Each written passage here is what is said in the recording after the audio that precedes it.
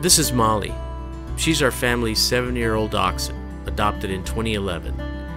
She was only two months old when we brought her home. In the first week of January 2015, Molly became paralyzed within a matter of 48 hours.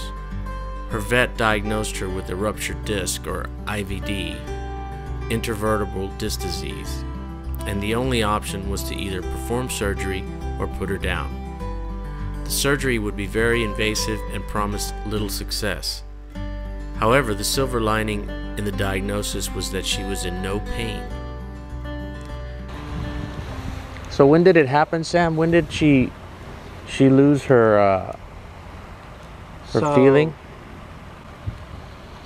Mom said that on New Year's Eve, going from 2014 to 2015, that was the last time I saw her running around and jumping. And she was, she's active, jumping, going crazy. Yeah. And then mom said they went out for New Year's. I went out and um, I was gone.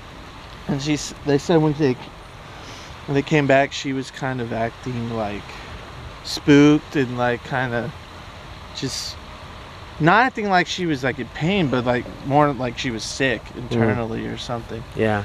And then, uh, so I came the next day. She was acting like that on the first, and then on the second, she was dragging around and stuff.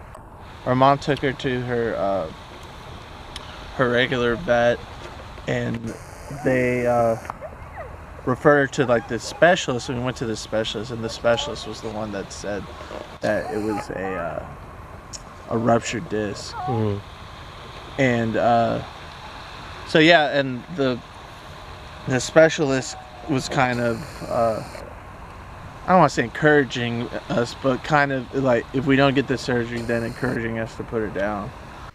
We were devastated with this diagnosis, but couldn't bear the thought of putting her down.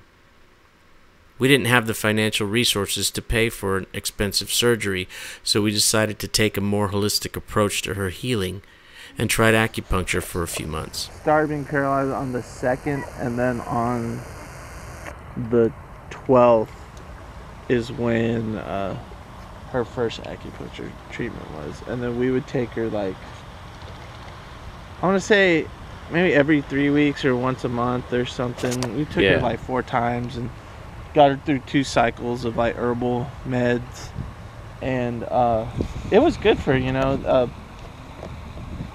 it kind of stimulated her um, her uh, her toes and stuff, and uh, I learned some good techniques too Uh huh.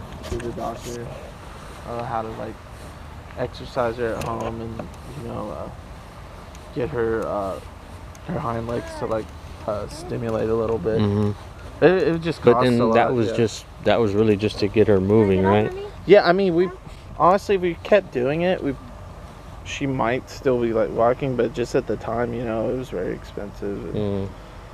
You know, every every two weeks, you know, a couple hundred bucks. So it just started to add up. So we we just kind of So we accepted accepted, our fate. As, we accepted her as is. yeah. Uh, she turned out pretty good. So we kept her until seven years later. Here we are. okay, come on, take a walk. This way. Look, I remember sitting here.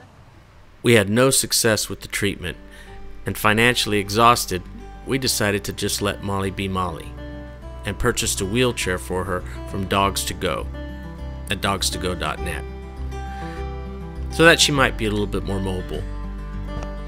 On December 20th, 2018, the NBC affiliate KPRC reported on a promising stem cell treatment being performed at the Safari Animal Care Center in League City, Texas and 30 minutes from our home.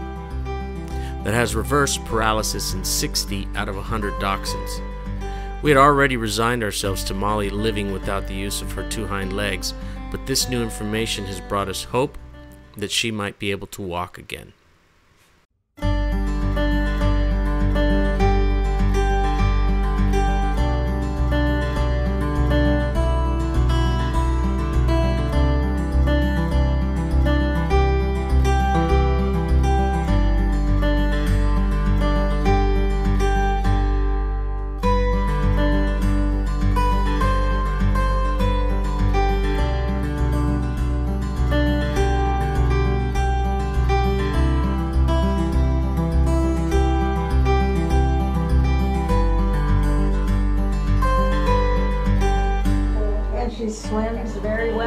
Summer.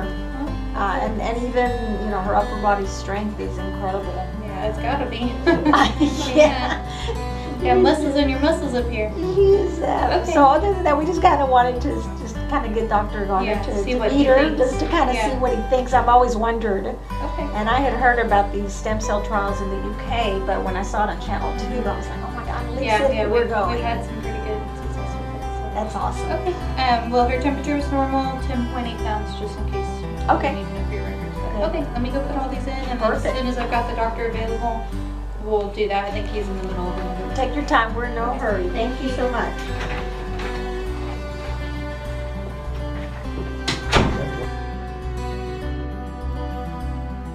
Molly was seen by Dr. Stephen Garner at the Safari Animal Care Center on December 29, 2018, and we are hoping for a miracle. If we can raise the funds for the stem cell treatment and post procedure physical therapy, the treatment is an intensive six week regimen and, as you can imagine, very expensive at $6,000 plus. We hope that with your help, Molly will be able to get a second chance and walk again. So please consider donating to Molly's GoFundMe page in hopes that Molly can have a miracle. Thank you.